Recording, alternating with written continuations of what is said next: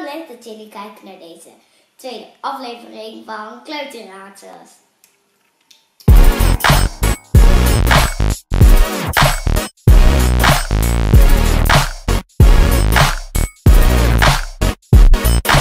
Ik hoop dat ik, dat ik 20 duimpjes hou bij de tweede aflevering van Kleuterraadsels.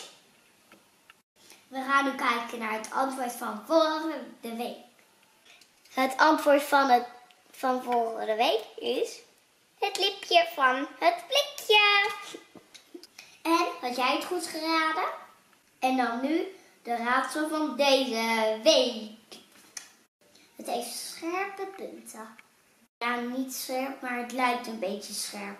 Nee, ja, het lijkt, het lijkt wel heel erg puntig, maar het is het niet. En het heeft een rondje erin.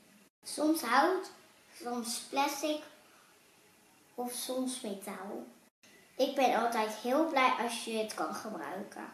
Het is heel groot voor wat het is. Er zit meestal iets aan waar het mee kan ophangen. Het loopt ook een beetje rond.